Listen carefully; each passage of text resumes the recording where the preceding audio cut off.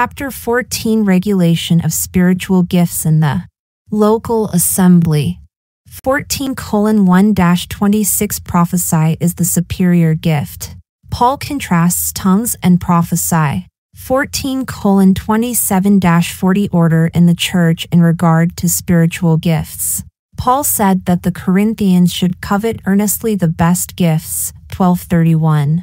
In this chapter, Paul tells them what the best gift is. It is prophesy. Then he explains why the Corinthians should not emphasize tongues over prophesy. The Corinthians had a distracting preoccupation with tongues. The church was confused and carnal partly because the women were taking precedence over the men, and neither the men nor the women were submitting themselves to the word of God. Women in the ministry is discussed at end of this lesson. Prophesy is supernaturally speaking for God by the direct leading of the Holy Spirit. Tongues were supernaturally speaking in a different language, praise and gratitude by the Spirit unto God. Tongues were assigned to the Jews next door, 122, so that they would believe that God was now working with Paul and his converts. As mentioned previously in chapter 12 and 13, Paul, led by the Lord, said that the gifts would end when Christ had given him the full revelation of the mystery. 13 8. 13. Christ, in his earthly ministry, said that signs will follow them that believe and that they will speak with new tongues. Mark 16, verse 17. There cannot be very good communication between people who do not speak the same language. At the Tower of Babel, God said, let us go down, and there confound their language, that they may not understand one another's speech. Genesis 11, verse 7. This is how God caused people to spread out over the earth. When the Holy Ghost came down on the 120 in the upper room, they spoke in tongues, Acts 2 verses 4 to 6, essentially reversing what God did in Genesis 11. When Christ began his heavenly ministry through Paul in Acts 9, Tongues and the other sign gifts continued during the transition period, as recorded in the book of Acts, until the end of Acts 28. Today, believers who rightly divide should not be deceived into believing that those gifts still apply today. They should build their lives on the Word of God. My soul was so thrilled to learn from a dear sister on Facebook, and I quote, My nephew has read the book, God's Secret, three times. He said that was when the light bulb went on. He said all the guys want to read it and has made up a list with their names on it.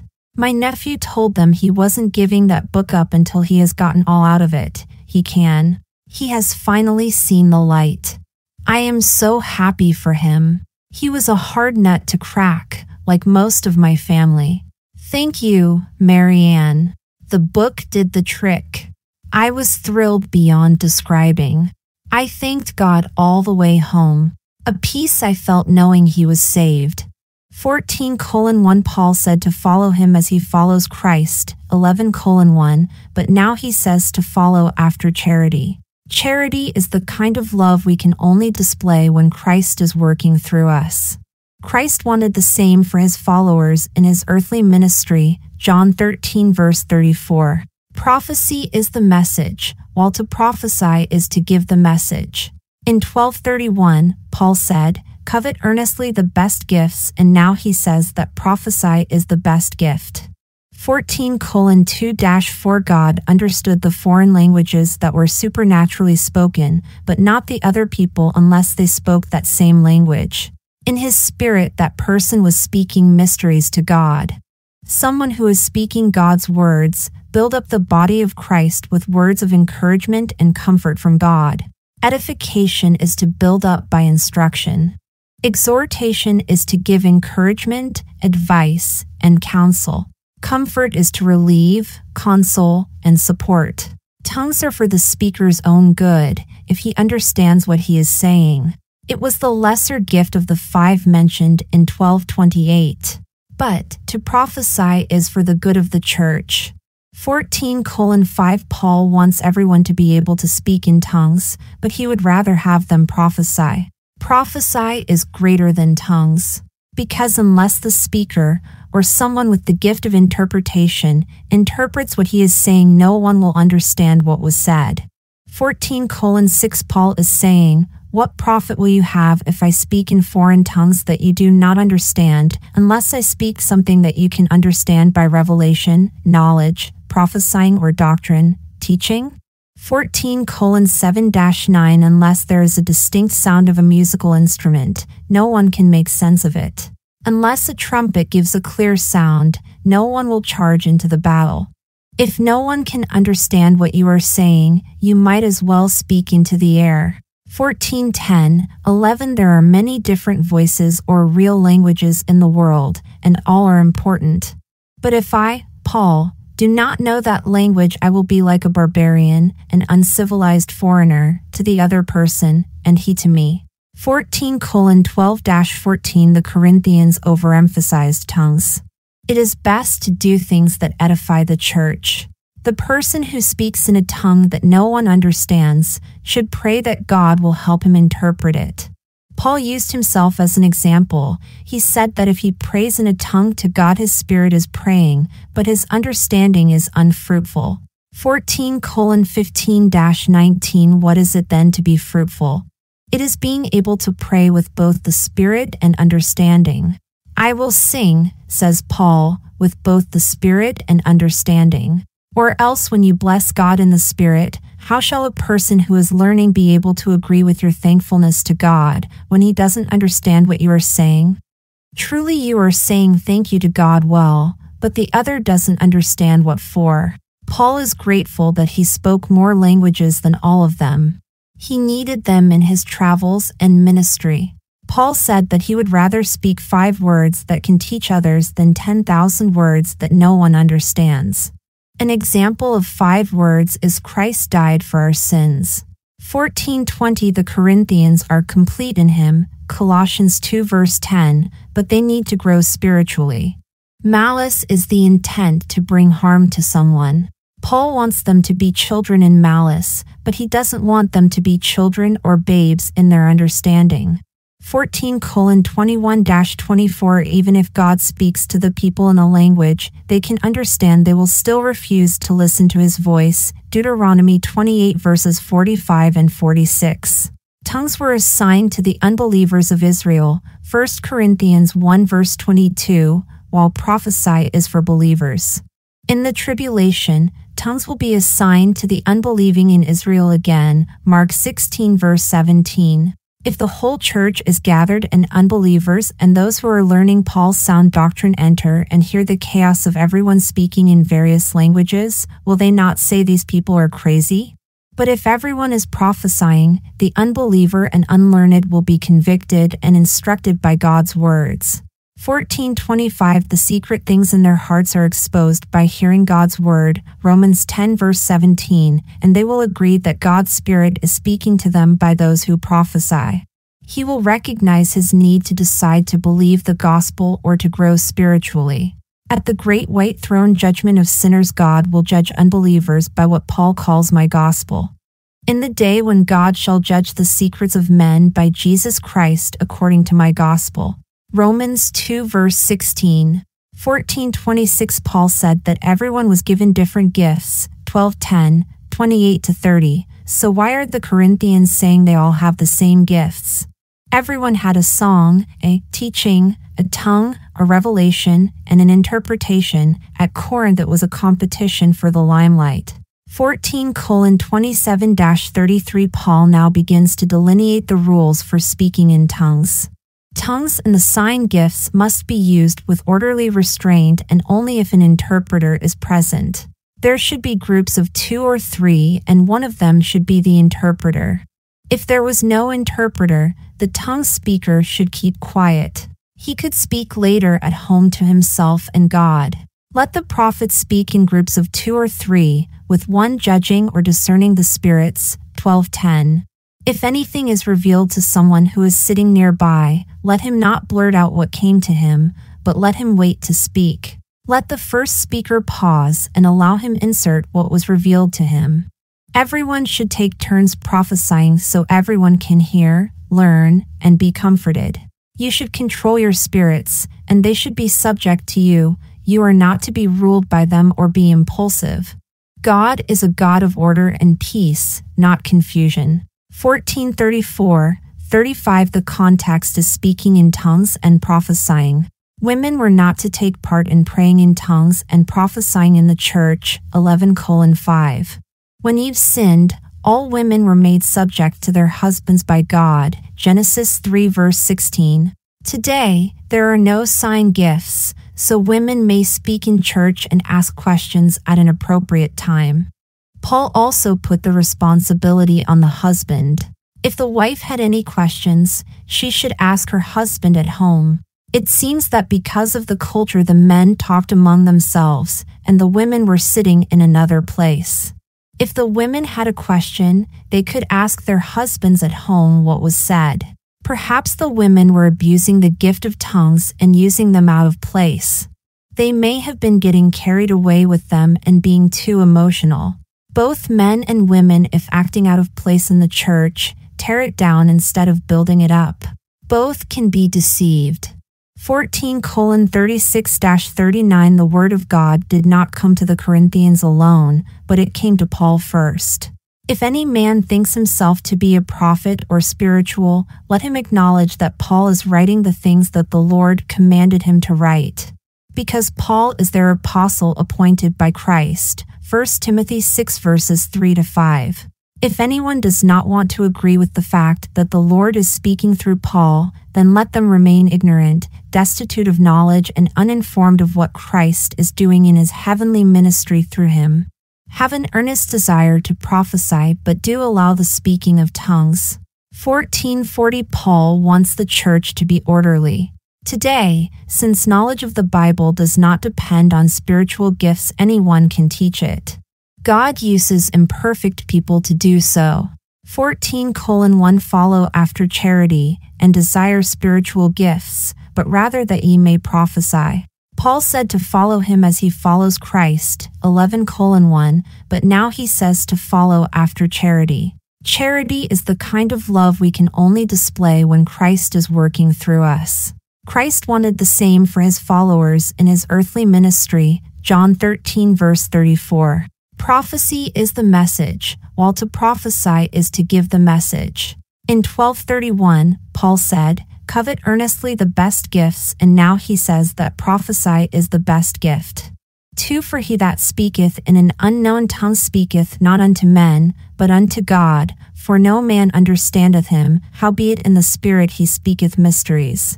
God understood the foreign languages that were supernaturally spoken, but not the other people unless they spoke that same language. In his spirit, that person was speaking mysteries to God. 3. But he that prophesieth speaketh unto men to edification and exhortation and comfort. Someone who is speaking God's words build up the body of Christ with words of encouragement and comfort from God. Edification is to build up by instruction. Exhortation is to give encouragement, advice, and counsel. Comfort is to relieve, console, and support. For he that speaketh in an unknown tongue edifieth himself, but he that prophesieth edifieth the church. Tongues are for the speaker's own good, if he understands what he is saying. It was the lesser gift of the five mentioned in 1228. But to prophesy is for the good of the church. Five. I would that ye all spake with tongues, but rather that ye prophesied, for greater is he that prophesieth than he that speaketh with tongues, except he interpret, that the church may receive edifying. Paul wants everyone to be able to speak in tongues, but he would rather have them prophesy. Prophesy is greater than tongues, because unless the speaker, or someone with the gift of interpretation, interprets what he is saying, no one will understand him. 6 Now, Brethren, if I come unto you speaking with tongues, what shall I profit you, except I shall speak to you either by revelation, or by knowledge, or by prophesying, or by doctrine? Paul is saying, What profit will you have if I speak in foreign tongues that you do not understand, unless I speak something that you can understand by revelation, knowledge, prophesying, or doctrine, teaching? 7. And even things without life giving sound, whether pipe, flute, or harp, except they give a distinction in the sounds, how shall it be known what is piped or harped? Unless there is a distinct sound of a musical instrument, no one can make sense of it. 8. For if the trumpet give an uncertain sound, who shall prepare himself to the battle? Unless a trumpet gives a clear sound, no one will charge into the battle. 9. So likewise ye, except ye utter by the tongue words easy to be understood, how shall it be known what is spoken? For ye shall speak into the air. If no one can understand what you are saying, you might as well speak into the air. Ten there are, it may be, so many kinds of voices in the world, and none of them is without signification. There are many different voices or real languages in the world, and all are important.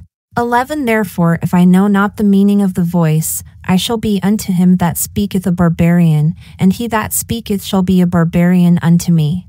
But if I, Paul, do not know that language, I will be like a barbarian, an uncivilized foreigner, to the other person, and he to me. 12 Even so ye, forasmuch as ye are zealous of spiritual gifts, seek that ye may excel to the edifying of the church. The Corinthians overemphasized tongues. It is best to do things that edify the church. 13 Wherefore let him that speaketh in an unknown tongue pray that he may interpret. The person who speaks in a tongue that no one understands should pray that God will help him interpret it. 14 For if I pray in an unknown tongue, my spirit prayeth, but my understanding is unfruitful.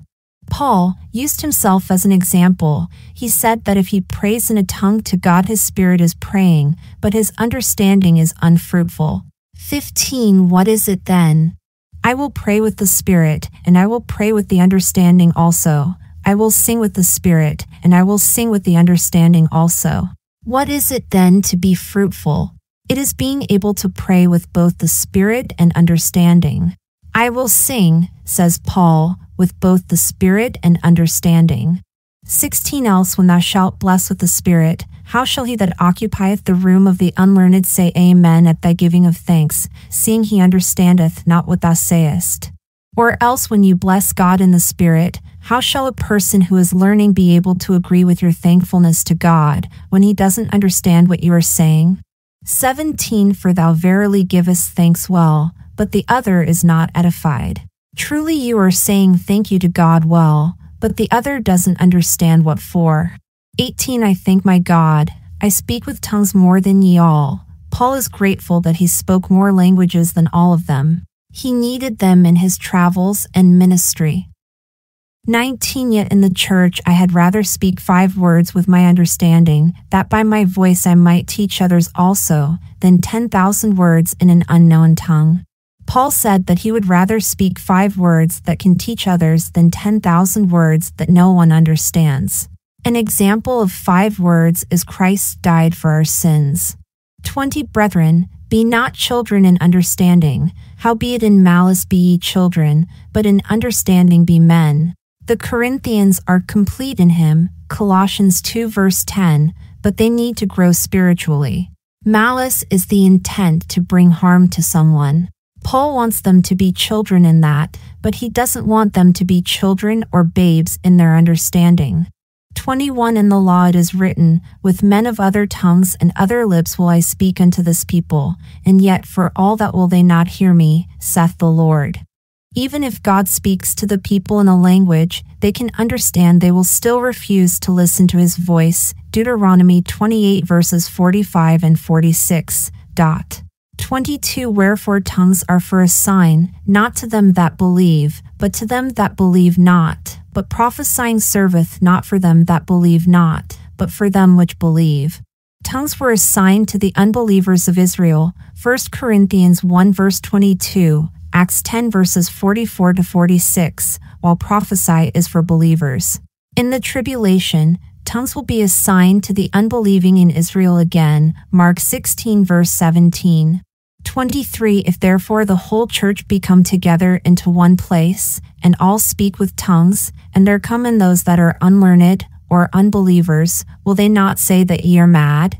If the whole church is gathered and unbelievers and those who are learning Paul's sound doctrine enter and hear the chaos of everyone speaking in various languages, will they not say these people are crazy?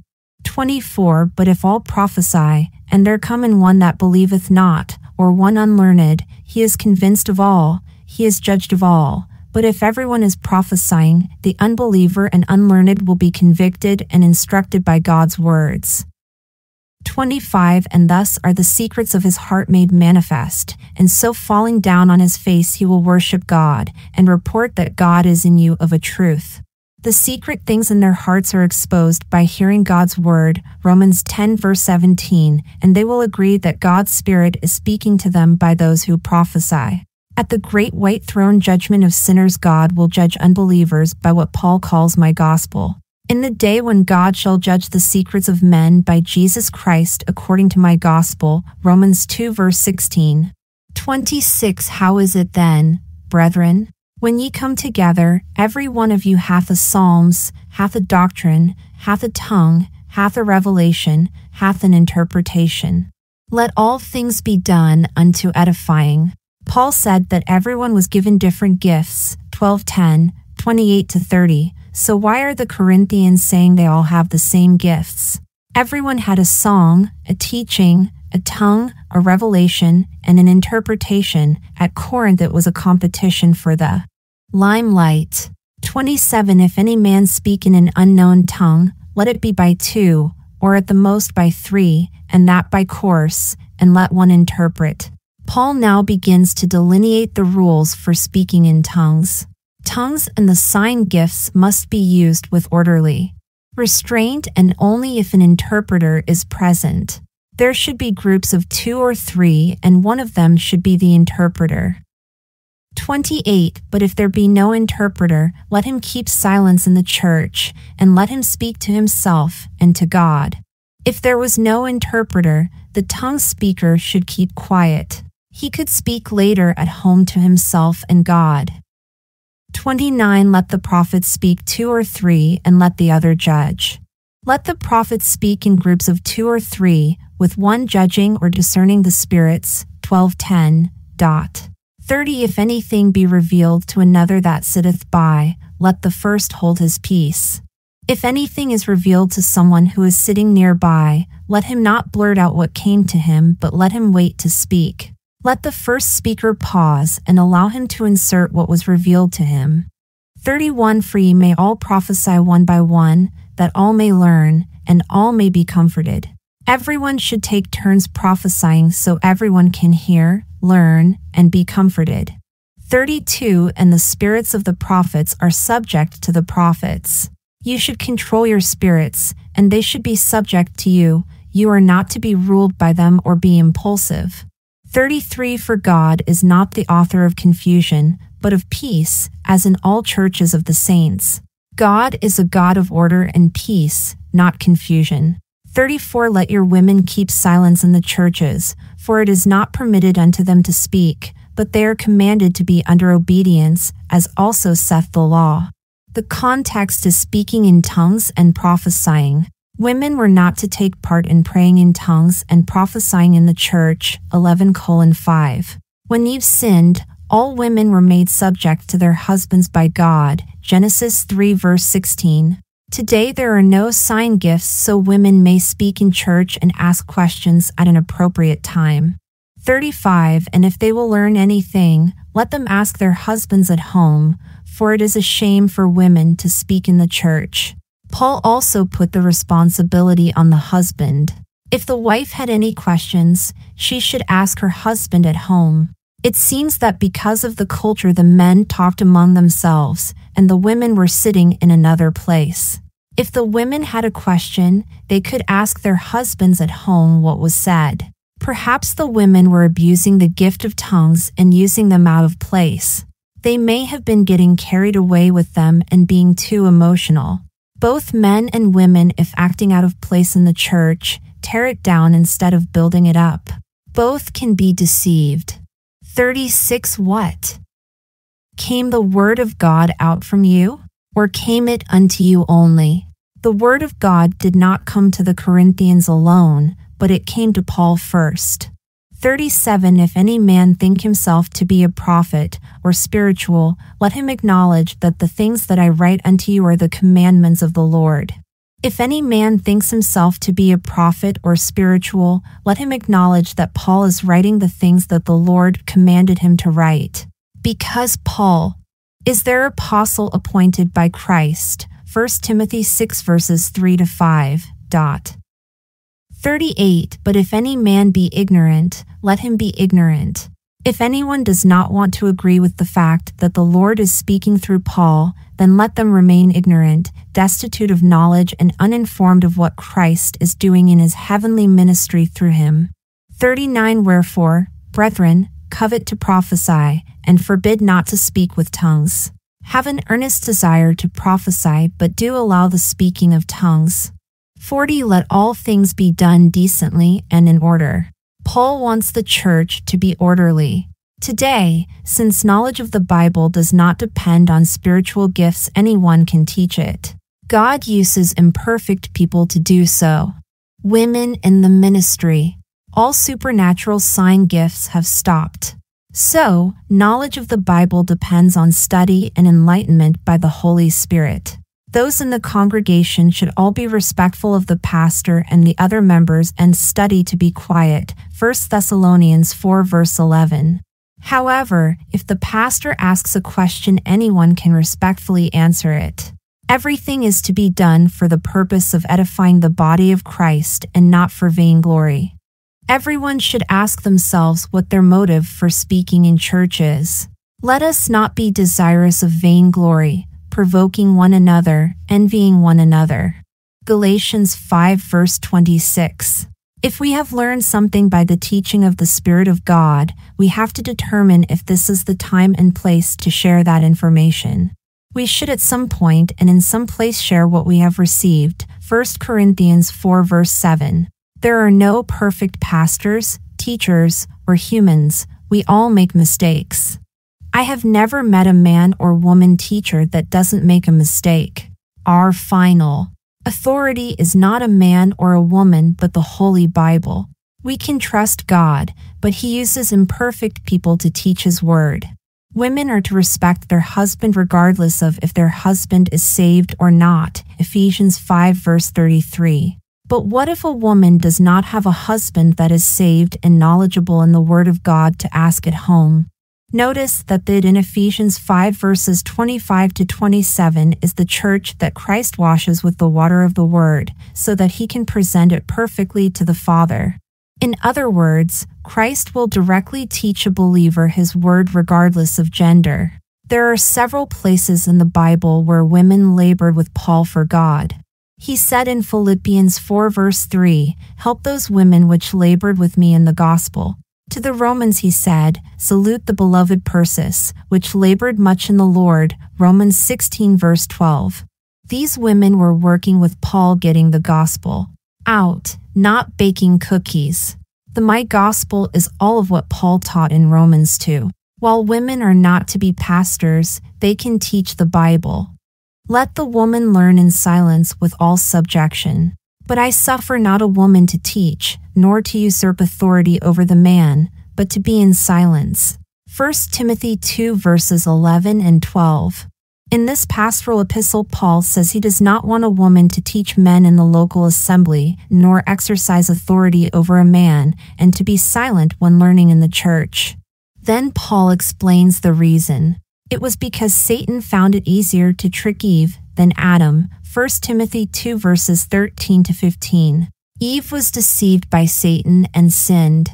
Had Adam been at her side and protected her, she may not have yielded to Satan's lies. Adam sinned knowingly, choosing to be with his wife rather than to walk with God. Adam was probably hoping God could solve their problem. Knowing the curses God proclaimed on them in Genesis, Paul says that a woman of faith will be kept from deception through childbearing. She will be too busy caring for her husband and children to fall into idleness, which Satan takes advantage of. 1 Timothy 5, verse 13. But men can be deceived, too. In 1 Timothy 1, verse 20, Paul says two men had blasphemed, spoken against God, Hymenaeus and Alexander. One is most likely the man mentioned in 2 Timothy 2 verses 16 to 18, Hymenaeus and Philetus. Their error was that they said that the rapture had already happened, and this error was overthrowing the faith of some. These men had apparently forged a letter and made it seem as if it came from Paul, 2 Thessalonians 2 verse 2. What is my point? Go to 2 Corinthians 11, verses 3 and 4. Notice how Paul is concerned about the whole assembly. Both men and women at Corinth were beguiled. Correctly handling the Word of God requires the Spirit of God enlightening our minds. Most of us women know that we can be deceived and are on our guard against it. But how many denominational and non denominational pastors do you know of who, first of all, are not King James Bible believers, and secondly, do not know when the body of Christ began? Many erroneously say the body of Christ began in Acts 2 because they do not divide the Word of God where God divides it between mystery and prophecy. This is why we must always give verses to back up everything that we say. We can learn from the Bible with the help of the Holy Spirit, but we can also learn from each other. I recommend that people listen to many grace teachers in multitude of counselors there is safety. Proverbs 24 verse 6. I continue to learn from many grace Bible teachers in church, in conferences, on Facebook, and on YouTube. In 1 Corinthians chapter 15, we learn that some members in the church at Corinth were even saying that the resurrection of saints would never happen. My point is that the mark of an effective Bible teacher is that they are a King James Bible teacher, knowledgeable in the Word of God, and rightly divide. It is not if they are male or female, because both can be deceived. Our final authority is the King James Bible, not a man or a woman. Satan's lies are powerless against the perfect Word of God. In English, it is found in the King James Bible. Richard Jordan of Shorewood Bible Church in Chicago also agrees that women are supposed to teach the Bible. At the conference last July, he said, and I quote, somebody asked, Why do you have ladies teaching? The answer, Titus 2 says, Let the older women teach. What are they supposed to teach? The Bible. Who are they supposed to teach? Anybody who will listen. Some may say, well, I don't think you should do that. Okay, then you don't do it. Listen, you are free to do whatever you want to do, and so am I. In Our ladies' ministry, none of the women want to be in leadership as pastors. They all have an understanding of the leadership in the local church. In case you have not noticed this, Conference is not a local church. This is a gathering of the saints and so forth. I don't want to get into this topic now. We have our ladies' seminar on CDs and all kinds of other CDs available in the lobby. Paraphrased quote from Richard Jordan, July twenty fifth, 2018. In summary, no one is supernaturally given knowledge today. We all have to study the Bible and be enlightened by the Holy Spirit. For one saint to share what they have learned with another is not usurping authority, but blessing another. There are no distinctions in the body of Christ, there is neither male nor female, for ye are all one in Christ Jesus. Galatians 3, verse 28. I believe that it is biblical for a woman who is strong in knowledge of the Word of God rightly divided to teach someone who is weaker in the faith.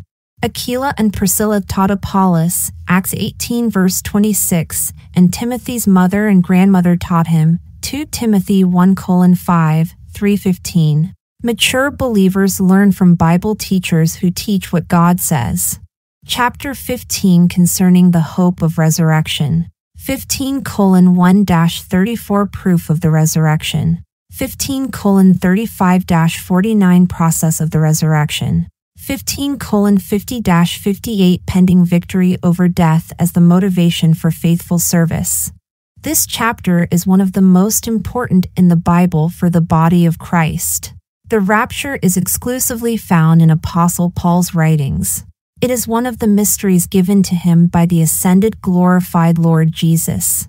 The mystery of the formation of the body of Christ in the dispensation of grace is flanked by Christ's two appearings first, to Paul on the road to Damascus, and second, at the rapture, Titus 2 verses 11 and 13. The rapture is our blessed hope. Someone who believes that the body of Christ began in Acts 2 can become confused about our rapture and mistakenly believe it will occur at Christ's second coming. Some of the Corinthians were saying that there is no resurrection of the dead. Paul now answers their questions regarding the resurrection and gives facts to prove it. Christ's resurrection is crucial for our salvation.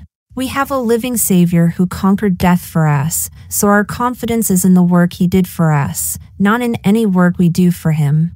Paul will demonstrate why our rapture is linked to Christ's resurrection. Some people may wonder what is the baptism for the dead, 29. Others may want to know what are the beasts at Ephesus, 32.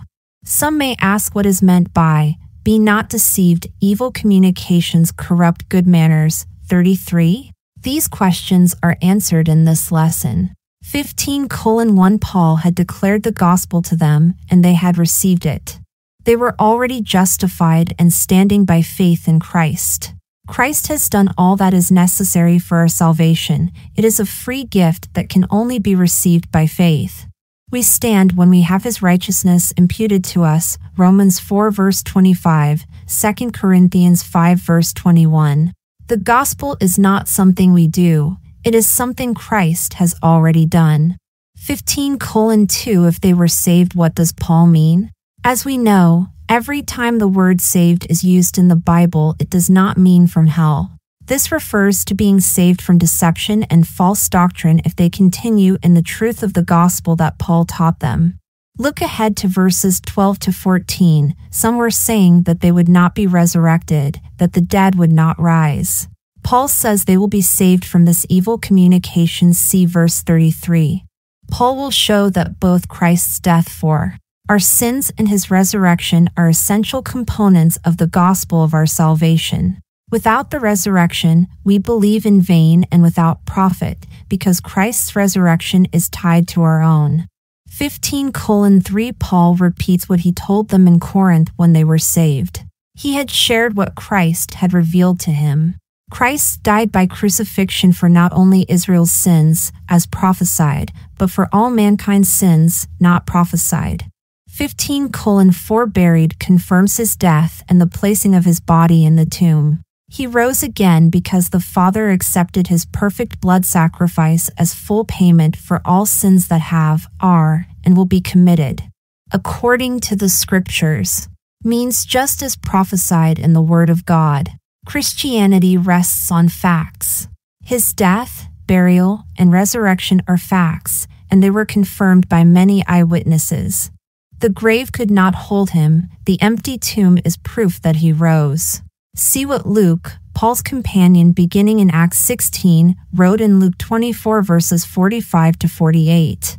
15 colon 5 Christ appeared to Peter who denied him three times, and then to the twelve, Matthias being one of them, James was not dead yet.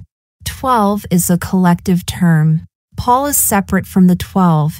He is the one apostle to the one body of Christ. 15 colon 6 Paul is the only one who reveals that Christ was seen by more than 500 at one time. Most of those eyewitnesses of his resurrection were still alive. 15 colon 7 Christ was seen by James, then by all the apostles including Thomas. 15 colon 8 Paul saw Christ depart from the twelve in Acts 9. Paul is a separate apostle for a separate ministry. He was born out of due time, Galatians 1 verses 1 and 11, 12. All believers have Christ in them, John 17 verse 26, Colossians 1 verse 27. 15 colon 9 Paul says that he is the least of the apostles and not fit to be called an apostle because he persecuted that church, the believing remnant of Israel or little flock, Acts 8 verses 1 to 3, Galatians 1 verse 13, 1 Timothy 1 verse 13. This remnant will receive the kingdom and sit on the 12 thrones, Luke 12 verse 32, Matthew 19 28, 21 43. 1510 because of God's grace Paul is the apostle of the Gentiles, Romans 11 verse 13. He says, Christ did not give me this grace for nothing, because I worked more fervently than all of them, but it was not me, but the grace of God that was with me. Paul is always careful to acknowledge the power of Christ in him. 1511 Most of the believers at Corinth were saved by the gospel, good news, that Paul preached, but some were also saved by Apollos, and others by Peter and his group. Both Peter and Paul preached the death, burial, and resurrection of Christ.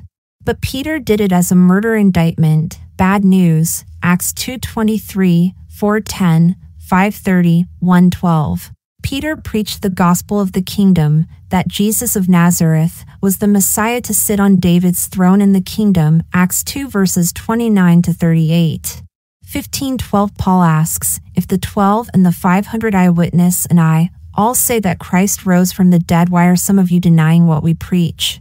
As we know, Paul and the 12 were willing to die for the truth of the resurrection. 1513 Paul will now demonstrate the importance of the resurrection by a series of ifs. Everyone's resurrection is dependent on the fact that Christ was the first to be resurrected in a glorified body. Paul revealed that Christ's sacrifice paid for all sins. Christ's resurrection and ours are linked together. 1514 If Christ is not risen, then our preaching is useless, and your faith is worthless. 15:15 Paul says, "We are found false witnesses because we said that God raised Christ from the dead. If he did not, then there is no resurrection of the dead." 15:16 Paul argues, "If there is no resurrection of dead believers, then that means Christ did not rise." 15 colon 19 they would be still in their sins if the father had not accepted christ's payment if christ did not rise their faith has no eternal value then those who have died believing in Christ, whose bodies are now asleep, will not live again. If we only have hope of this life, then we are all doing this for nothing, wasting our time, and should be miserable. 1520 But the truth is that Christ rose from the dead. Remember, Paul saw him several times. Jesus is the first of those who died in faith to have a glorified body. 1521 The reason Christ had to die was because death came by Adam. Christ became a man and was resurrected to undo what Adam had done so that others could have eternal life. 1522 We have to be in Christ to be saved. This is the proof text of the resurrection.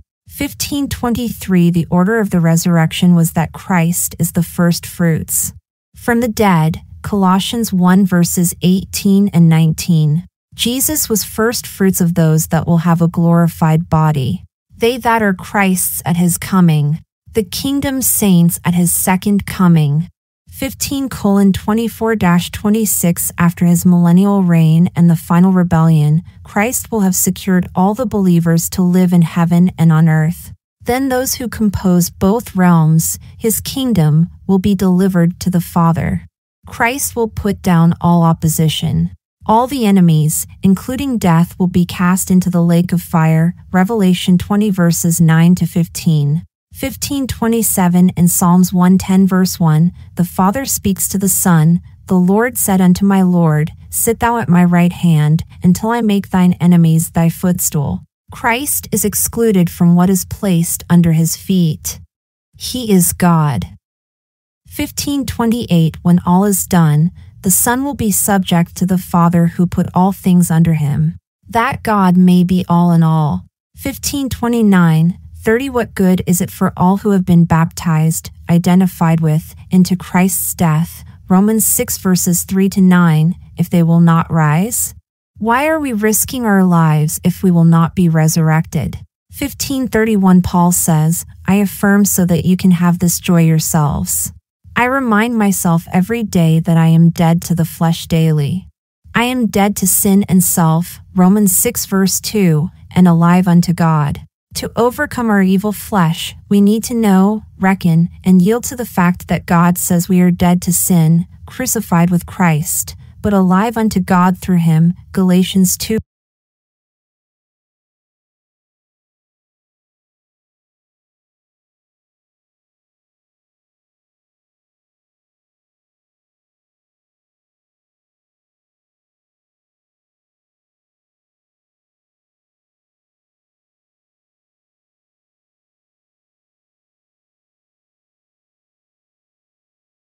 2 verse 20.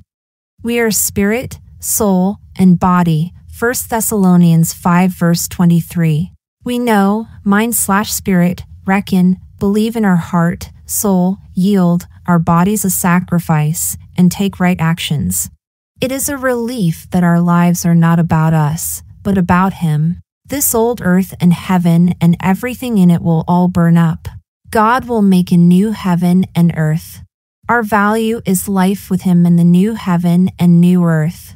1532 If I had to fight with those beast like men at Ephesus, Titus 1 verse 12, what profit is my struggle if the dead do not rise?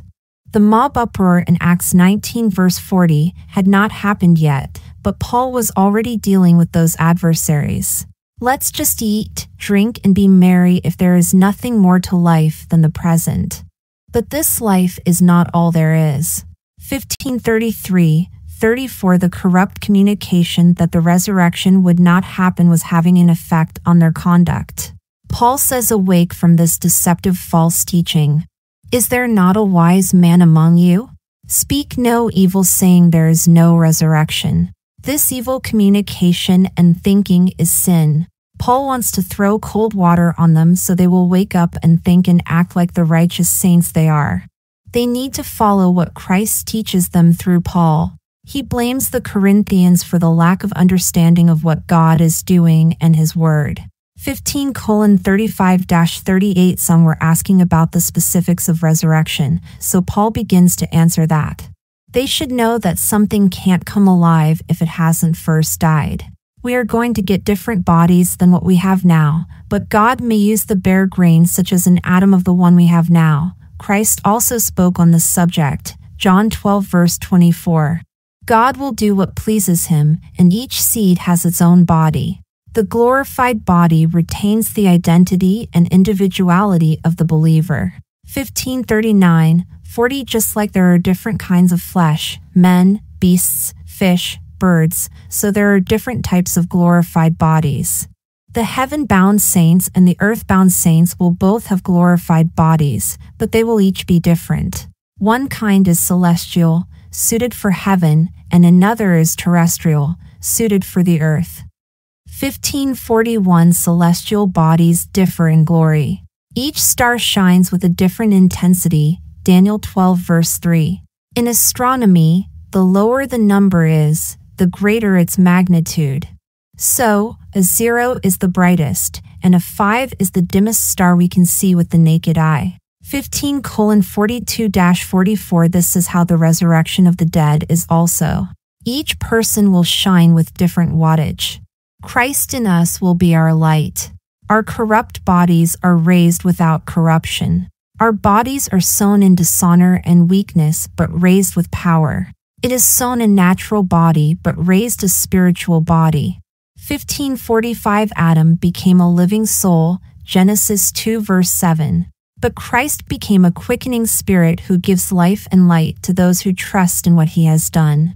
The last Adam reversed the curse the first Adam brought into the world. We will have his light in us as we shine in the heavens. 1546, verse 7 Just like the spiritual, Christ, was not first, but the natural, Adam, so is it for us, we are natural, then spiritual. Adam was of the earth, earthy. The second man is the Lord from heaven.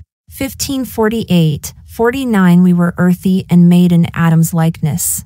But God will change our vile body, that it may be fashioned like unto his glorious body. Philippians 3 verse 21. 1550 We cannot inherit the kingdom of God in our flesh and blood bodies. Remember that we have been made joint heirs with Christ and will be glorified with him. Romans 8, verse 17. It is not because of any merit of our own, but by his. Also remember that the kingdom of God consists of both the heavenly and earthly realms. There will be a new heaven and a new earth for only the believers. 1551 Paul now reveals a mystery or divine secret about the rapture. This mystery is exclusive to the body of Christ in the dispensation of grace, that not everyone will die, but all will be changed. 1552 This change will occur as fast as a twinkling of an eye in a fraction of a second, with two sounds of a trumpet. At the first trump, the sound that the trumpet makes, the dead in Christ shall rise first, 1 Thessalonians 4 verses 16 and 17. Then with the second trump, we shall be changed. Notice how Paul includes himself, because Christ did not tell him when the rapture would take place.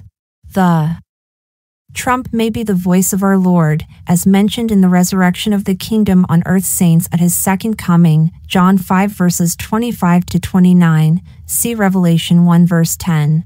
15 colon 53 55 we will put on immortal bodies that will last forever. When we have our eternal bodies, that is when our death and our grave will be conquered. For the kingdom on earth saints, it will be at his return to earth, not the air. Isaiah 25 verse 8, Hosea 13 verse 14. 1556, 57 death is the result of sin, Romans 6 verse 23. The thing that makes sin stronger and more obvious is the law. Christ has removed our sins and the sting of death. Paul thanks God for his plan of redemption. Our Lord Jesus Christ won this victory over sin and death for us. 1558 Paul now applies the sure fact of the resurrection to the believer's conduct. We can be steadfast because we have eternal life. Christ overcame both sin and death. On the cross, he overcame sin. At his resurrection, he overcame death. In light of this truth, we should be steadfast, stable, unmoved by bad doctrine, abounding in good works for the Lord, because we know our labor is not in vain in the Lord. The things that we have done with Christ working through us will be of value at the judgment seat of Christ. 2 Corinthians 5, verse 10. As ambassadors, 2 Corinthians 5 verses 18 to 20, we can do God's will, 1 Timothy 2 verse 4. Because the tomb was empty, Paul's preaching was not in vain, 14, and their faith in ours is not in vain, 14, and our labor is not in vain, 58. This life is a place of service and preparation for our eternal life to come. Our rewards in heaven are determined by what we do in this life here on earth.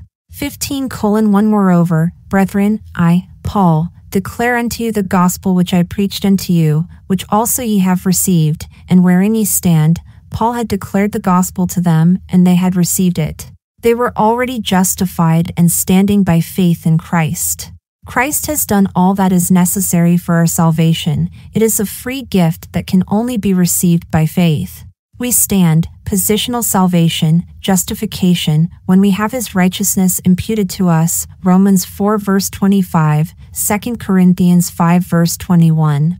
The gospel is not something we do, it is something Christ has already done.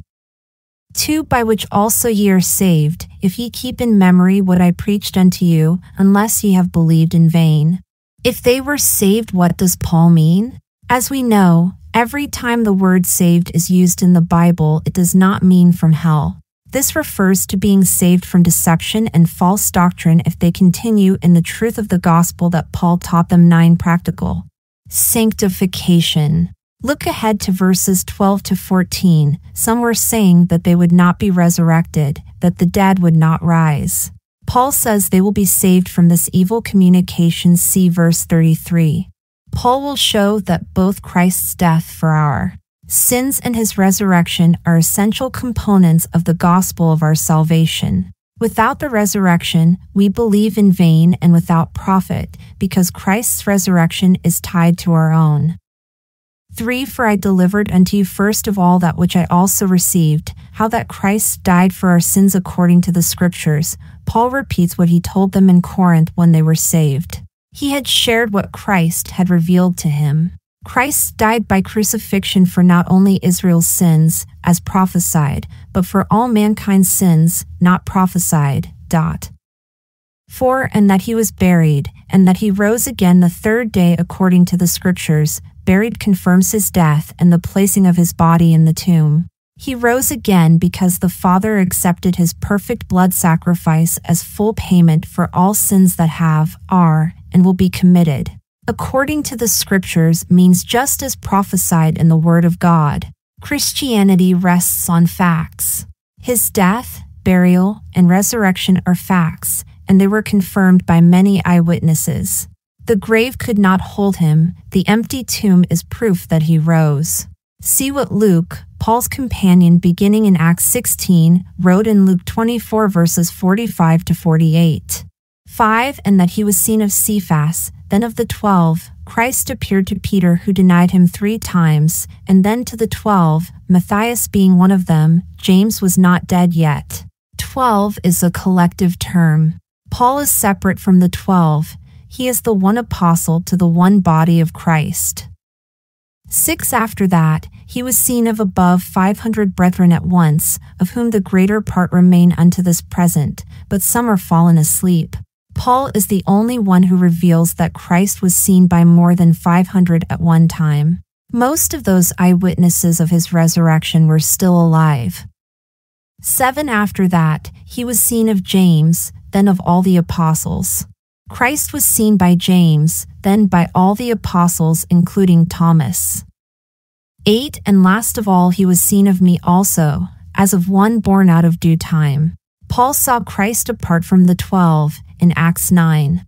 Paul is a separate apostle for a separate ministry. He was born out of due time, Galatians 1 verses 1 and 11, 12. All believers have Christ in them, John 17 verse 26, Colossians 1 verse 27. 9 For I am the least of the apostles, that am not meant to be called an apostle, because I persecuted the church of God. Paul says that he is the least of the apostles and not fit to be called an apostle because he persecuted that church, the believing remnant of Israel or little flock, Acts 8 verses 1 to 3, Galatians 1 verse 13, 1 Timothy 1 verse 13. This remnant will receive the kingdom and sit on the 12 thrones, Luke 12 verse 32, Matthew 19 28, 21 43. 10. But by the grace of God I am what I am, and his grace which was bestowed upon me was not in vain, but I labored more abundantly than they all. The 12. Yet not I, but the grace of God which was with me. Because of God's grace, Paul is the apostle of the Gentiles, Romans 11, verse 13. He says, Christ did not give me this grace for nothing, because I worked more fervently than all of them, but it was not me, but the grace of God that was with me.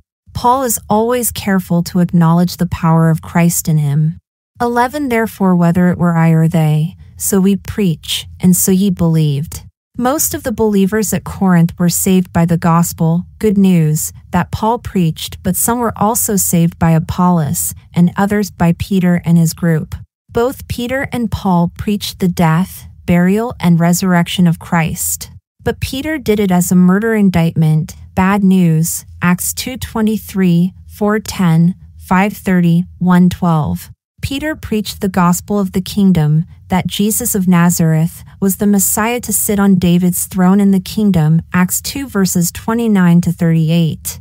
12 Now if Christ be preached that he rose from the dead, how say some among you that there is no resurrection of the dead? Paul asks if the 12 and the 500 eyewitness and I all say that Christ rose from the dead, why are some of you denying what we preach? As we know, Paul and the 12 were willing to die for the truth of the resurrection.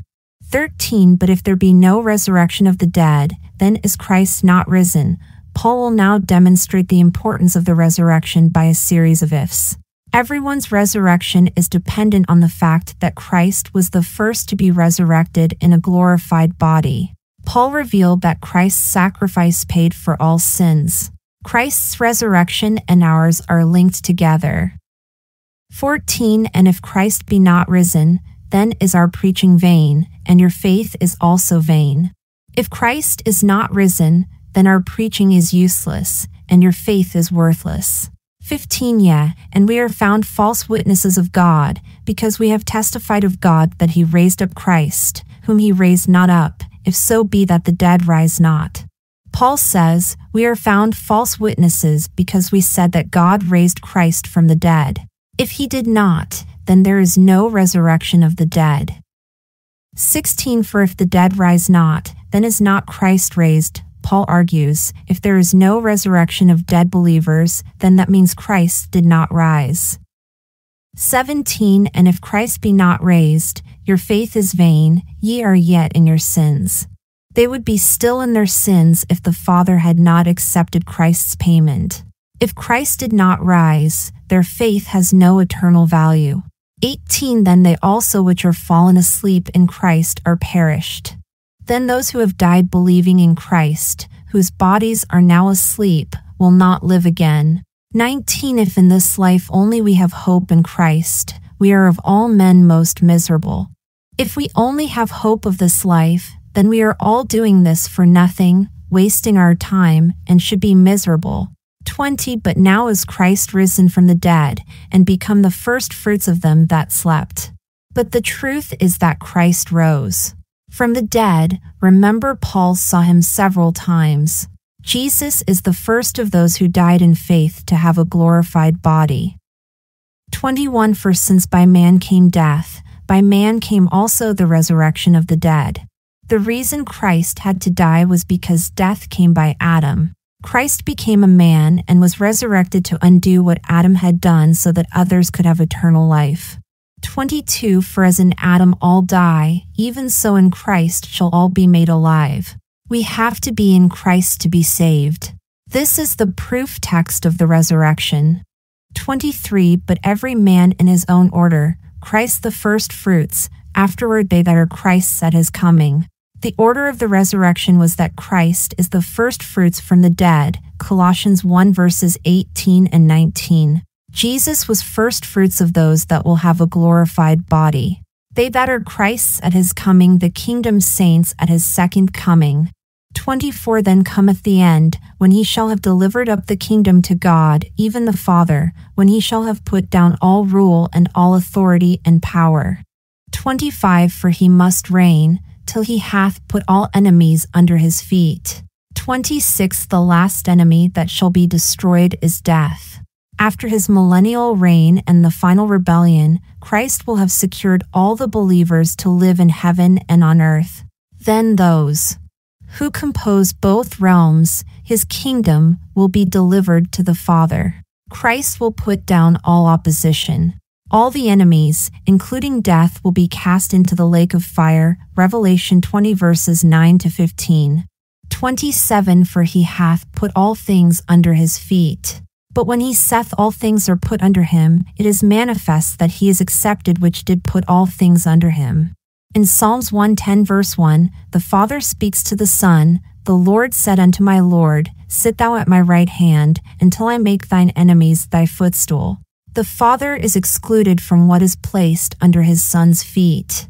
28 And when all things shall be subdued unto him, then shall the Son also himself be subject unto him that put all things under him, that God may be all in all. When all is done, the Son will be subject to the Father who put all things under him, that God may be all in all. 29 Else what shall they do which are baptized for the dead, if the dead rise not at all? Why are they then baptized for the dead? What good is it for all who have been baptized, identified with, into Christ's death, Romans 6 verses 3 to 9, if they will not rise. 30 And why stand we in jeopardy every hour? Why are we risking our lives if we will not be resurrected? 31 I protest by your rejoicing which I have in Christ Jesus our Lord, I die daily. Paul says, I affirm so that you can have this joy yourselves. I remind myself every day that I am dead to the flesh daily. I am dead to sin and self, Romans 6 verse 2, and alive unto God. To overcome our evil flesh, we need to know, reckon, and yield to the fact that God says we are dead to sin, crucified with Christ, but alive unto God through him, Galatians 2 verse 20. We are spirit, soul, and body, 1 Thessalonians 5 verse 23. We know, mind slash spirit, reckon, believe in our heart, soul, yield our bodies a sacrifice, and take right actions. It is a relief that our lives are not about us, but about Him. This old earth and heaven and everything in it will all burn up. God will make a new heaven and earth. Our value is life with Him in the new heaven and new earth. 32 If after the manner of men I have fought with beasts at Ephesus, what advantageth it me, if the dead rise not? Let us eat and drink, for tomorrow we die. If I had to fight with those beast like men at Ephesus, Titus 1 verse 12, what profit is my struggle if the dead do not rise? The mob uproar in Acts 19 verse 40 had not happened yet, but Paul was already dealing with those adversaries.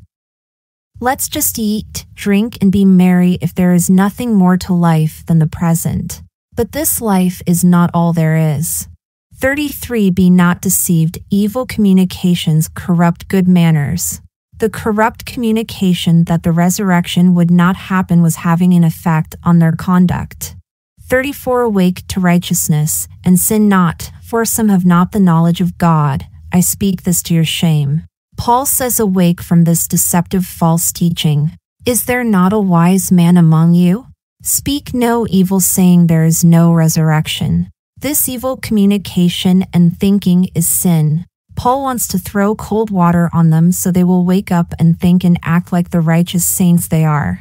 They need to follow what Christ teaches them through Paul. He blames the Corinthians for the lack of understanding of what God is doing and his word. 35 But some man will say, How are the dead raised up? And with what body do they come? Some were asking about the specifics of resurrection, so Paul begins to answer that. 36 Thou fool, that which thou sowest is not quickened, except it die. They should know that something can't come alive if it hasn't first died. 37 And that which thou sowest, thou sowest not that body that shall be, but bare grain, it may chance of wheat, or of some other grain, we are going to get different bodies than what we have now, Christ also spoke on this subject, John 12, verse 24. God may use the bare grain, such as an atom of the one we have now. 38 But God giveth it a body as it hath pleased him, and to every seed his own body. God will do what pleases him, and each seed has its own body. The glorified body retains the identity and individuality of the believer. 39 All flesh is not the same flesh, but there is one kind of flesh of men, another flesh of beasts, another of fishes, and another of birds. 40 There are also celestial bodies, and bodies terrestrial, but the glory of the celestial is one, and the glory of the terrestrial is another. Just like there are different kinds of flesh men, beasts, fish, birds so there are different types of glorified bodies. The heaven bound saints and the earth bound saints will, both have glorified bodies, but they will each be different. One kind is celestial, suited for heaven, and another is terrestrial, suited for the earth. Dot. 41 There is one glory of the sun, and another glory of the moon, and another glory of the stars, for one star differeth from another star in glory. Celestial bodies differ in glory. Each star shines with a different intensity. Daniel 12, verse 3. In astronomy, the lower the number is, the greater its magnitude. So, a zero is the brightest, and a five is the dimmest star we can see with the naked eye. 42 so also is the resurrection of the dead. It is sown in corruption, it is raised in incorruption. This is how the resurrection of the dead is also. Each person will shine with different wattage. Christ in us will be our light. Our corrupt bodies are raised without corruption. 43 It is sown in dishonor, it is raised in glory, it is sown in weakness, it is raised in power. 44 It is sown a natural body, it is raised a spiritual body. There is a natural body, and there is a spiritual body. Our bodies are sown in dishonor and weakness, but raised with power. It is sown a natural body, but raised a spiritual body. 45 And so it is written, the first man Adam was made a living soul, the last Adam was made a quickening spirit. Adam became a living soul, Genesis 2 verse 7. But Christ became a quickening spirit who gives life and light to those who trust in what he has done. The last Adam reversed the curse the first Adam brought into the world. We will have his light in us as we shine in the heavens. 46 Howbeit that was not first which is spiritual, but that which is natural, and afterward that which is spiritual. Just like the spiritual, Christ, was not first, but the natural, Adam, was first, so it is for us. We are natural, then spiritual. 47 The first man is of the earth, earthy, the second man is the Lord from heaven. Adam was of the earth, earthy. The second man is the Lord from heaven. 48 As is the earthy, such are they also that are earthy, and as is the heavenly, such are they also that are heavenly. 49 And as we have borne the image of the earthy, we shall also bear the image of the heavenly. We were earthy and made in Adam's likeness. But God will change our vile body, that it may be fashioned like unto his glorious body. Philippians 3 verse 21. 50 Now this I say, brethren, that flesh and blood cannot inherit the kingdom of God, neither doth corruption inherit incorruption. We cannot inherit the kingdom of God in our flesh and blood bodies. Remember that we have been made joint heirs with Christ and will be glorified with him. Romans 8, verse 17. It is not because of any merit of our own, but by his. Also remember that the kingdom of God consists of both the heavenly and earthly realms. There will be a new heaven and a new earth for only the believers. 51 Behold, I shew you a mystery. We shall not all sleep, but we shall all be changed. Paul now reveals a mystery or divine secret about the rapture. This mystery is exclusive to the body of Christ in the dispensation of grace, that not everyone will die, but all will be changed. 52 In a moment, in the twinkling of an eye, at the last trump, for the trumpet shall sound, and the dead shall be raised incorruptible, and we shall be changed. This change will occur as fast as a twinkling of an eye, in a fraction of a second, with two sounds of a trumpet. At the first trump, the sound that the trumpet makes, the dead in Christ shall rise first. 1 Thessalonians 4 verses 16 and 17. Then with the second trump, we shall be changed. Notice how Paul includes himself, because Christ did not tell him when the rapture would take place. The trump may be the voice of our Lord, as mentioned in the resurrection of the kingdom on earth saints at his second coming, John 5 verses 25 to 29, see Revelation 1 verse 10. 53 For this corruptible must put on incorruption, and this mortal must put on immortality. We will put on immortal bodies that will last forever. 54 so when this corruptible shall have put on incorruption, and this mortal shall have put on immortality, then shall be brought to pass the saying that is written, Death is swallowed up in victory. 55 O death, where is thy sting? O grave, where is thy victory? When we have our eternal bodies, that is when our death and our grave will be conquered. For the kingdom on earth saints, it will be at his return to earth, not the air. Isaiah 25 verse 8, Hosea 13 verse 14. 56 The sting of death is sin, and the strength of sin is the law. Death is the result of sin, Romans 6 verse 23. The thing that makes sin stronger and more obvious is the law. 57 But thanks be to God, which giveth us the victory through our Lord Jesus Christ. Christ has removed our sins and the sting of death. Paul thanks God for his plan of redemption. Our Lord Jesus Christ won this victory over sin and death for us. 58 Therefore, my beloved brethren, be ye steadfast, unmovable, always abounding in the work of the Lord, forasmuch as ye know that your labor is not in vain in the Lord. Paul now applies the sure fact of the resurrection to the believer's conduct. We can be steadfast because we have eternal life. Christ overcame both sin and death. On the cross, he overcame sin at his resurrection, he overcame death. In light of this truth, we should be steadfast, stable, unmoved by bad doctrine, abounding in good work for the Lord, because we know our labor is not in vain in the Lord. The things that we have done with Christ working through us will be of value at the judgment seat of Christ. 2 Corinthians 5 verse 10. As ambassadors, 2 Corinthians 5 verses 18 to 20, we can do God's will, 1 Timothy 2 verse 4. Because the tomb was empty, Paul's preaching was. Not in vain, 14, and their faith in ours is not in vain, 14, and our labor is not in vain, 58. This life is a place of service and preparation for our eternal life to come. Our rewards in heaven are determined by what we do in this life here on earth. Chapter 16 concerning the collection for the saints and farewell.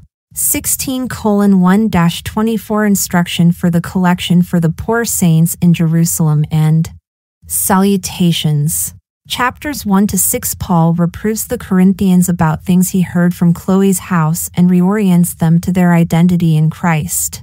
Chapters 7 to 16, Paul answers the questions they wrote to him in a letter brought by three men from their church. Remember, we are to divide mystery from prophecy, so I have a question. What does Jesus Christ mean when he says, And ye shall know the truth, and the truth shall make you free? John 8, verse 31. Is this verse for us?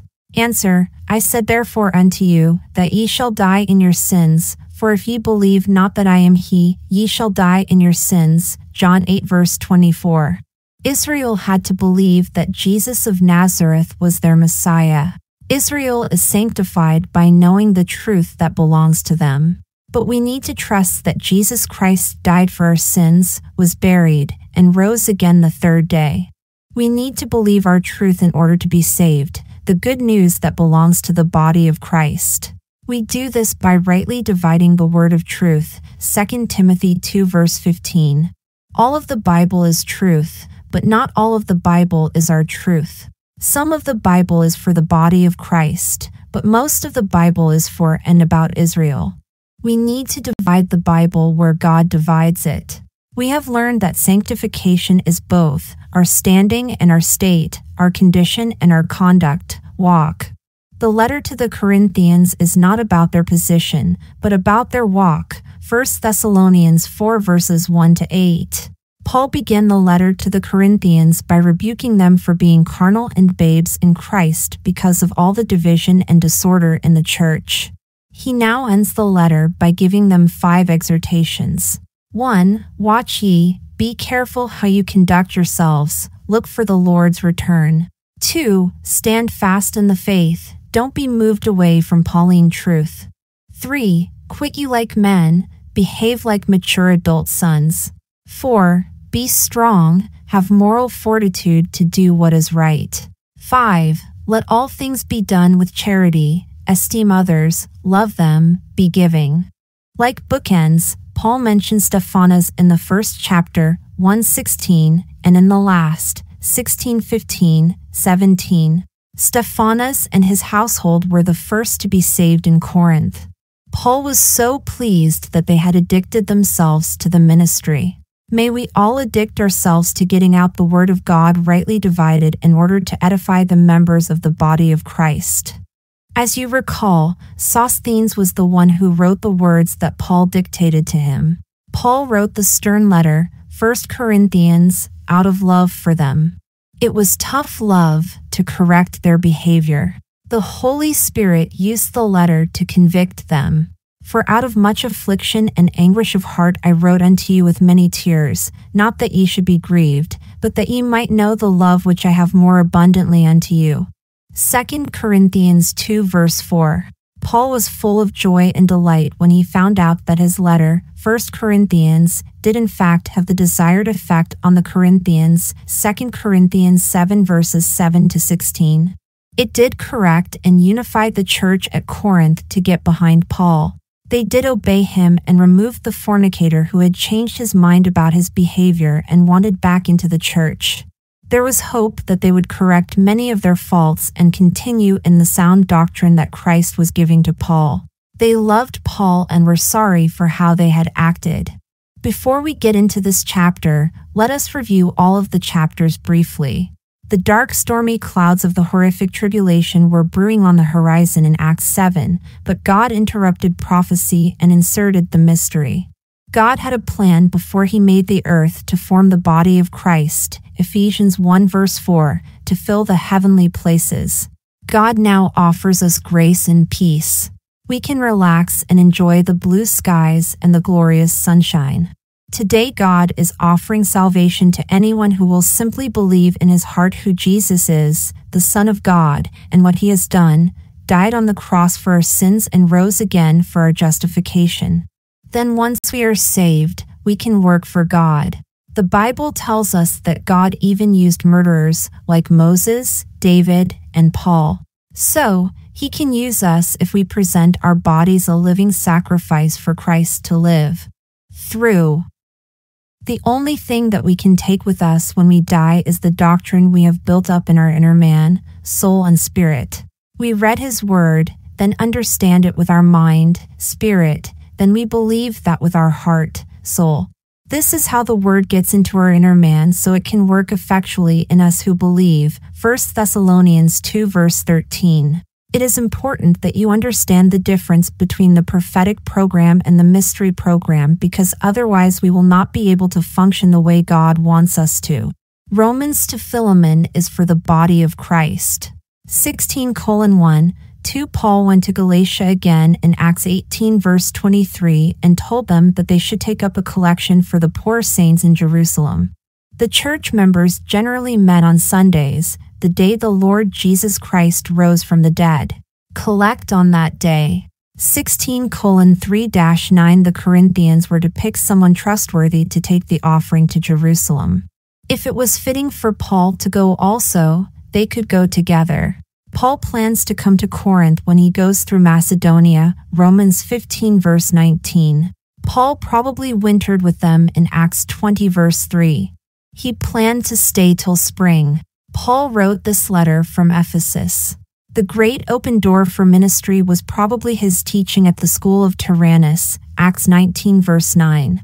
The enemies were the silver and copper smiths who made the shrines to the goddess Diana, Acts 19, verse 24. 16 10 14 Do not give Timothy a hard time. He works for the Lord like me. Be kind to him and help him on his way, so he can come back to me with the others.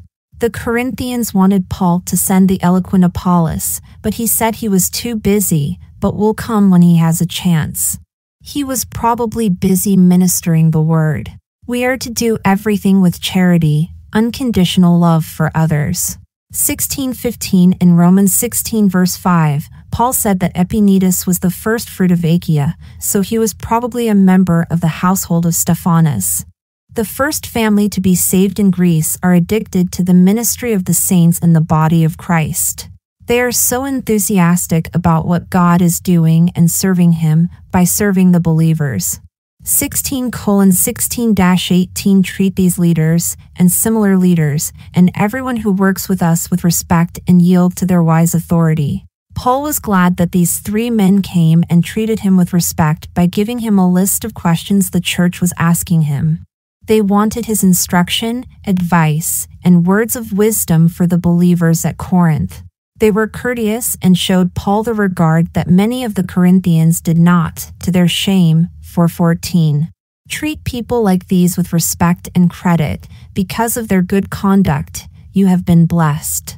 16 19 24 salutations from Paul's several churches in Asia Minor, in Ephesus, in Galatia, in Colossae and Laodicea, and so on.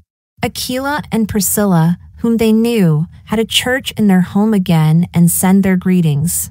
Paul wants them to be affectionate to one another. Paul signs the letter himself.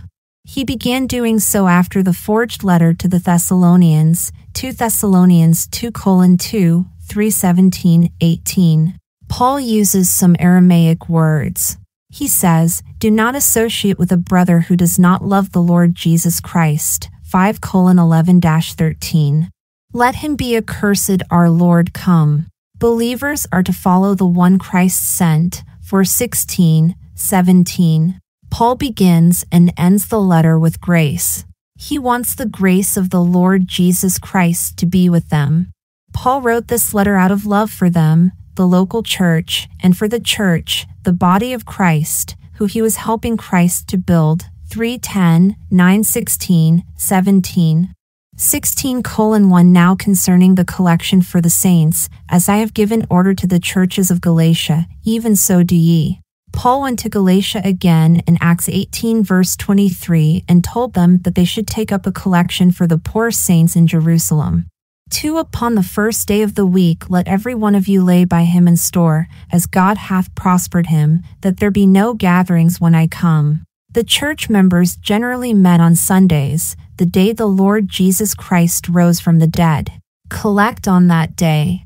3. And when I come, whomsoever ye shall approve by your letters, them will I send to bring your liberality unto Jerusalem the Corinthians were to pick someone trustworthy to take the offering to Jerusalem.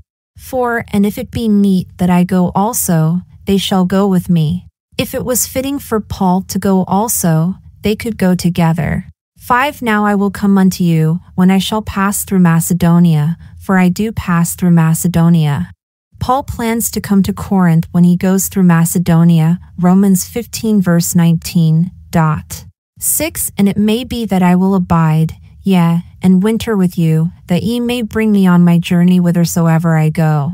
Paul probably wintered with them in Acts 20, verse 3. 7. For I will not see you now by the way, but I trust to tarry a while with you, if the Lord permit. 8. But I will tarry at Ephesus until Pentecost. He planned to stay till spring. Paul wrote this letter from Ephesus. Nine, for a great door and effectual is opened unto me, and there are many adversaries. The great open door for ministry was probably his teaching at the school of Tyrannus, Acts 19, verse 9. The enemies were the silver and copper smiths who made the shrines to the goddess Diana, Acts 19, verse 24. 10 Now, if Timotheus come, see that he may be with you without fear, for he worketh the work of the Lord, as I also do. Do not give Timothy a hard time. He works for the Lord like me. 11 Let no man therefore despise him, but conduct him forth in peace, that he may come unto me, for I look for him with the brethren. Be kind to him and help him on his way, so he can come back to me with the others. 12 As touching our brother Apollos, I greatly desired him to come unto you with the brethren, but his will was not at all to come at this time, but he will come when he shall have convenient time. The Corinthians wanted Paul to send the eloquent Apollos, but he said he was too busy, but will come when he has a chance. He was probably busy ministering the word. 13 Watch ye, stand fast in the faith, quit ye like men, be strong. Stand fast in the faith and doctrine that Paul has given them. Keep looking for the Lord to return for us, stay strong in the faith, behave like adults, be strong, not babies. 14. Let all your things be done with charity. We are to do everything with charity, unconditional love for others. Dot. 15 I beseech you, brethren, ye know the house of Stephanas, that it is the first fruits of Achaia, and that they have addicted themselves to the ministry of the saints, in Romans 16 verse 5, Paul said that Epaenetus was the first fruit of Achaia, so he was probably a member of the household of Stephanas. The first family to be saved in Greece are addicted to the ministry of the saints and the body of Christ. They are so enthusiastic about what God is doing and serving Him by serving the believers. 16 That ye submit yourselves unto such, and to everyone that helpeth with us, and laboreth. Treat these leaders and similar leaders and everyone who works with us with respect and yield to their wise authority. 17 I am glad of the coming of Stephanas and Fortunatus and Achaicus, for that which was lacking on your part they have supplied. Paul was glad that these three men came and treated him with respect by giving him a list of questions the church was asking him. They wanted his instruction, advice, and words of wisdom for the believers at Corinth. They were courteous and showed Paul the regard that many of the Corinthians did not, to their shame, for fourteen, eighteen, 18 For they have refreshed my spirit and yours, therefore, acknowledge ye them that are such. Treat people like these with respect, because of their good conduct you have been blessed. 19 The churches of Asia salute you. Aquila and Priscilla salute you much in the Lord, with the church that is in their house. Salutations from Paul's several churches in Asia Minor, in Ephesus, in Galatia, in Colossae, and Laodicea, and so on. Aquila and Priscilla, whom they knew, had a church in their home again and send their greetings. 20 All the brethren greet you. Greet ye one another with an holy kiss. Paul wants them to be affectionate to one another. 21 The salutation of me, Paul, with mine own hand. Paul signs the letter himself. He began doing so after the forged letter to the Thessalonians, 2 Thessalonians 3 verses 17 and 18. Dot. 22 If any man love not the Lord Jesus Christ, let him be anathema maranatha. Paul uses some Aramaic words. He says, Do not associate with a brother who does not love the Lord Jesus Christ. 5 colon 11 13. Let him be accursed, our Lord come. Believers are.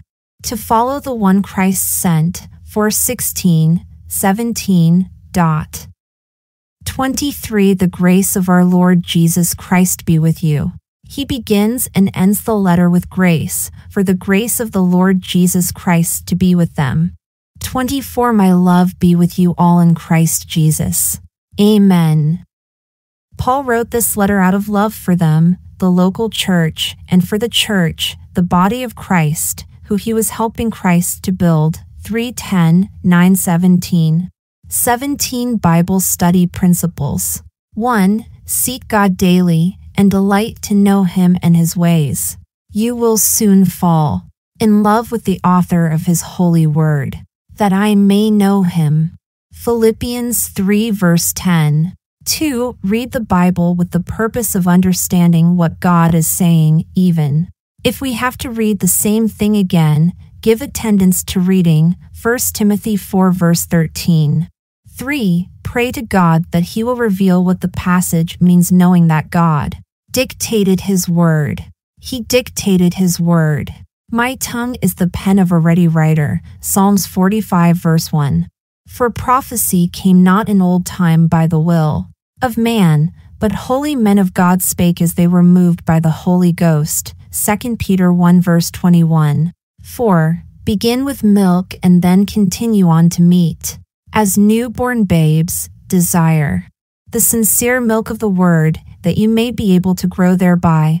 1 Peter 2 verse 2. For when for the time ye ought to be teachers, ye are become such as have need of milk, and not of strong meat, Hebrews 5, verse 12. 5. Be both biblical and dispensational, knowing not only what God is saying, but to whom, when, and in what context he is speaking, for God has given different instructions at different times to different people. Galatians 2, verses 7 to 9. 6. Study it as if we are mining hidden treasure. Yeah, if thou creest after knowledge, and liftest up thy voice for understanding, if thou seekest her as silver, and searchest for her as for hid treasures, then shalt thou understand the fear of the Lord and find the knowledge of God. Proverbs 2 verses 3 to 5. 7. Build on previous knowledge. Whom shall he teach knowledge? And whom shall he make to understand doctrine? Them that are weaned from the milk and drawn from the breasts. For precept must be upon precept, precept upon precept, line upon line, line upon line, here a little, and there a little. Isaiah 28 verses 9 and 10. 8. Compare Scripture with Scripture with wisdom from the Holy Ghost. Knowing that the living God in us teaches us from his living word, Hebrews 4 verse 12 which things also we speak, not in the words which man's wisdom teacheth, but which the Holy Ghost teacheth, comparing spiritual things with spiritual, 1 Corinthians 2 verse 13. 9. The Bible uses parallelism. In the following verse, A equals C and B equals D. So, the adder is the dragon, Satan. Thou shalt tread upon the lion and adder, the young lion and the dragon shalt thou trample under feet. Psalms 91 verse 13. 10. Rightly, divide the truth in God's Word, distinguish Paul's writings to the body of Christ, the mystery, from the rest of the Bible, prophecy. Study to shew thyself approved unto God, a workman that needeth not to be ashamed, rightly dividing the word of truth. 2 Timothy 2 verse 15. Study the Bible daily, although teachers can help, what we gain in our own study is much more profitable. 11. Dot. Keep in mind both the near and far context of the verse in order to understand how it fits in the passage, the chapter, the letter, and with the rest of the Bible. Think deeply and carefully about what you read, going over it several times in your mind. Meditate upon these things, give thyself wholly to them, that thy profiting may appear to all. 1 Timothy 4 verse 15. 12. Dot. Remember, that the Bible has its own built in dictionary. God will usually explain the meaning of the word in the paragraph in which it is first used or in the paragraph before or after the word is first introduced. The secret things belong unto the Lord our God, but those things which are revealed belong unto us and to our children forever, that we may do all the words of this law. Deuteronomy 29, verse 29. 13.d O not isolate a passage and build a whole doctrine on it. Understand. N. Unclear. Passage in the light of what you clearly do understand. For example, it is clear that baptism in the dispensation of grace is spiritual, Ephesians 4 verse 5, 1 Corinthians 12 verse 13, even though Paul water baptized some during the Acts period. Remember that the book of Acts is a history of the transition from Christ's ministry through Peter to Christ's ministry through Paul.